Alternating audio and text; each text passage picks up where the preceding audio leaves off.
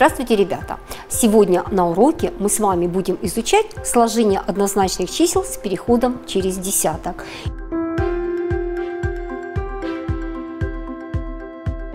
И познакомимся с приемом сложения с переходом через разряд.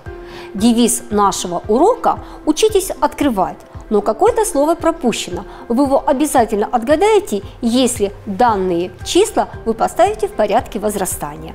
Итак, какое же слово у нас получилось? Тайны. Значит, девиз нашего урока – учитесь тайны открывать. И для того, чтобы открыть тайны, мы с вами должны хорошо знать состав числа 10. Итак, повторяем. 10 – это 4 и 6. 10 – это 7 и 3. 10 это 2 и 8. 10 это 6 и 4. 10 это 8 и 2. 10 это 3 и 7. 10 это 9 и 1. Молодцы! Далее давайте посмотрим на примеры и подумаем, какие примеры для вас легкие, а какие примеры у вас вызовет затруднения.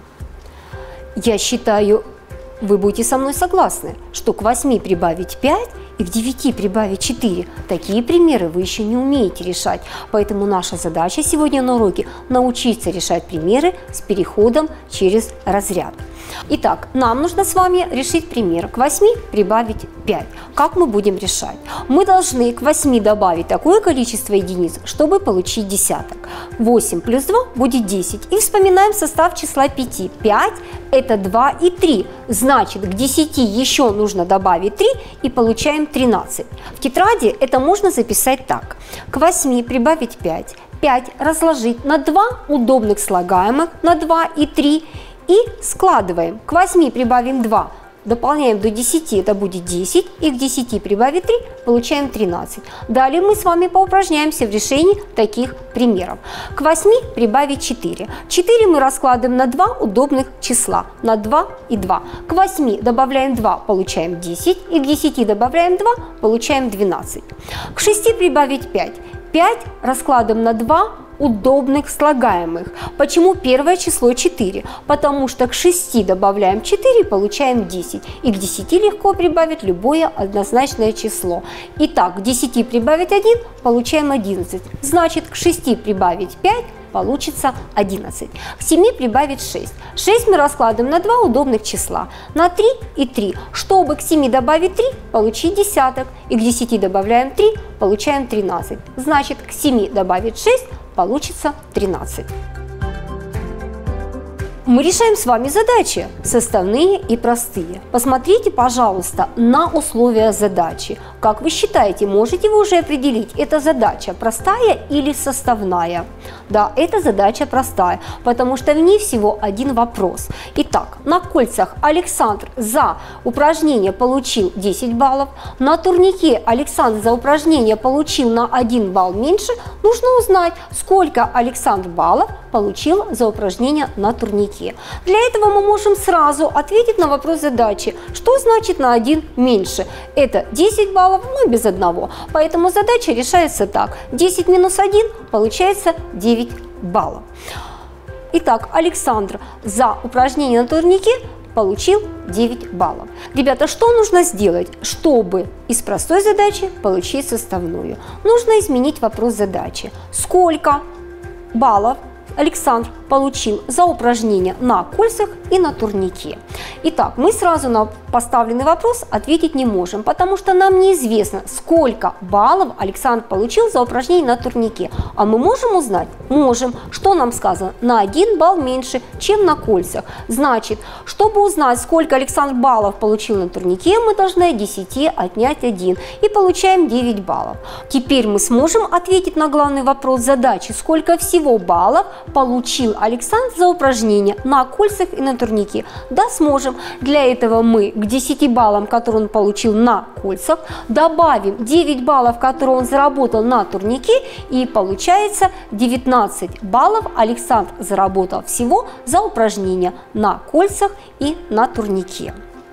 Ребята, посмотрите, как называется линия, изображенная на экране. Это ломаная линия. Нужно найти длину ломаной линии. Чтобы найти длину ломаной линии, нужно узнать, из скольких звеньев состоит эта линия. Мы видим, что наша ломаная линия состоит из трех звеньев. Мы должны измерить, чему равняется длина каждого звена и сложить все числа. Длина наших звеньев равняется 4 сантиметра, 3 сантиметра и 5 сантиметров. Когда мы сложим все длины звеньев, мы получаем 12 сантиметров. Сегодня на уроке, ребята, мы с вами научились, как складывать числа с переходом через десяток. И если у вас какое-то вызвало задание затруднение, я прошу, откройте учебник и еще раз прорешайте эти примеры. Чтобы преодолеть все трудности, нужно хорошо знать состав чисел. Хорошо дома повторите состав числа 10. Я вам рекомендую потренировать свои вычислительные навыки на страничке 65 и уметь сравнивать числа в пределах 20. Урок закончен. Спасибо за внимание.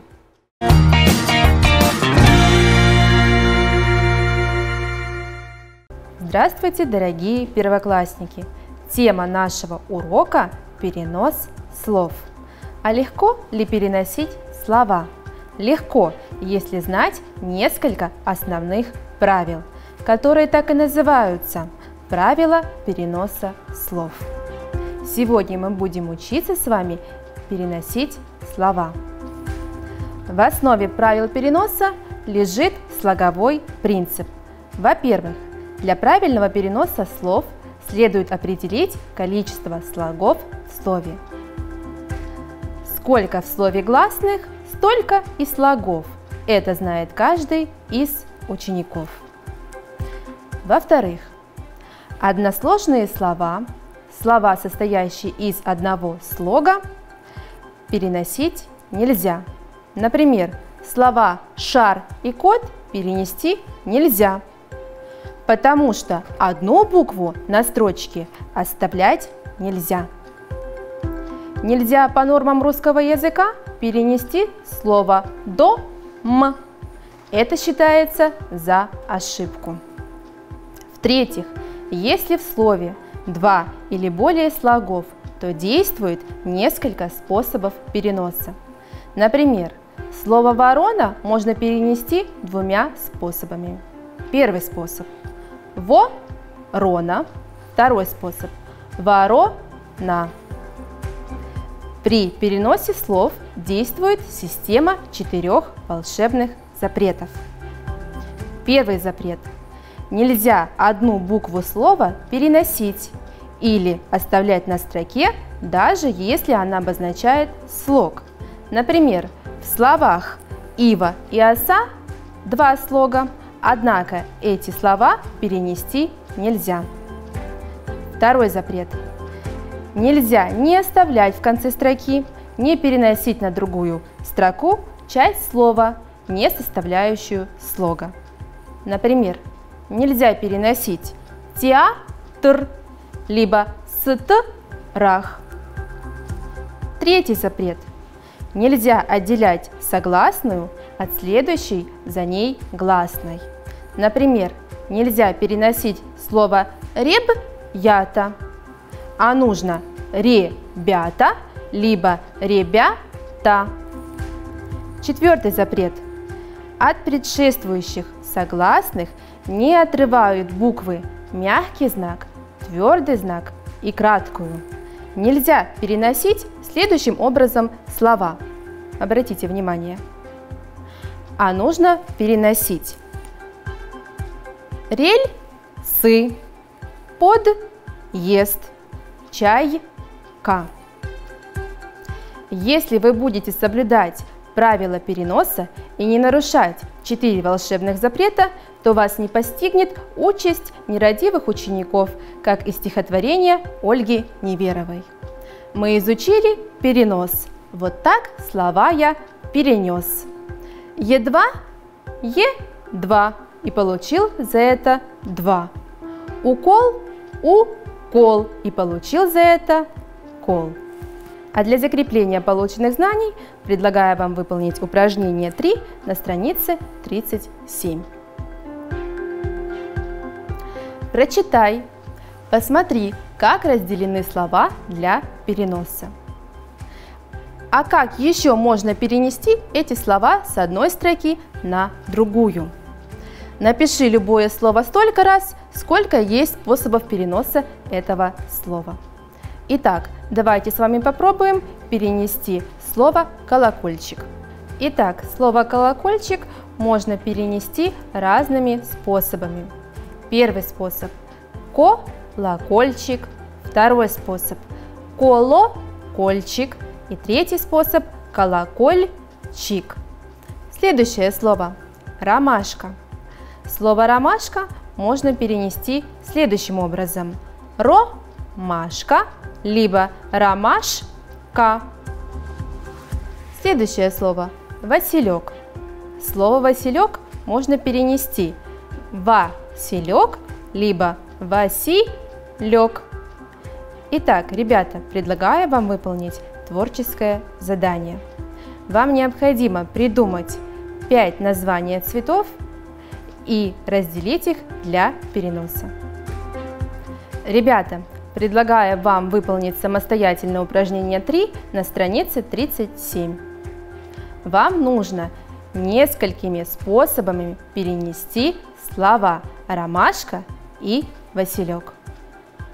Итак, сегодня на уроке мы узнали об основных правилах переноса слов и научились переносить слова.